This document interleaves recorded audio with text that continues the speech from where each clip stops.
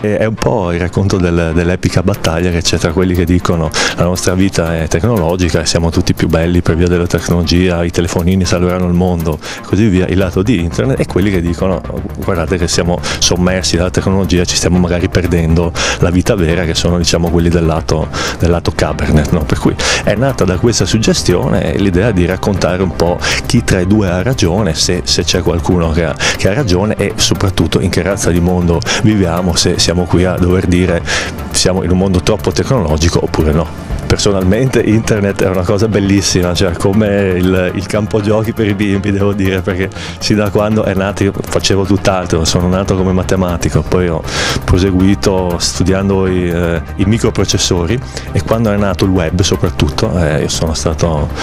colpito come la falena insegue la luce, sono stato colpito per cui per me è una cosa bellissima. Dopodiché adesso è cambiata molto da quando è nata, insomma, ormai un bel po' di tempo fa. È cambiata molto, è diventata matura, se vogliamo, da bambina che era, è diventata una cosa molto più seria e soprattutto la cosa bella per me è che molte delle previsioni su quanto internet e web si sarebbero uniti con la società, per cui sarebbero diventati una cosa sola, si sono poi realizzate, cioè è bellissimo vedere il potenziale che si ha quando si vede che parte della società viene legata alla rete, anche viceversa la rete poi restituisce un potenziale immenso. Ci sono stati studi che hanno visto che staccarsi dalla rete internet fa bene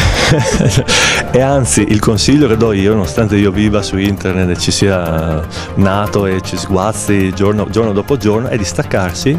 mezz'ora o un'ora al giorno, lo so che è difficile, ma come la, la droga o per, o per, il fumatore, insomma, dire staccati, staccati, dalle, staccati, dalle, sigarette. Però si è visto che fa bene, cioè aiuta a concentrarsi, a riacquistare un po' delle capacità, diciamo, di profondità che si perdono, si è visto che si perdono con l'uso de, della rete normale, perché la rete ci rende magari veloci, però ci fa un, po' perdere in pensiero profondo, diciamo. Per cui questo è il consiglio che posso dare, si è visto che aiuta. A che cosa non, non rinuncerei mai, beh devo dire no, non rinuncerei mai, ci sono tante cose ma la prima cosa che mi viene in mente è eh, l'email classico, perché ci lavoro ma anche cose come per esempio Wikipedia che ormai sono, una, eh, sono una fonte di ispirazione e di ricchezza eh, incredibili. Devo dire la cosa principale in tutta l'innovazione, sia che uno la faccia come startup o, o anche dentro strutturato diciamo in, in, aziende più grandi, è l'entusiasmo e la voglia di, di cambiare,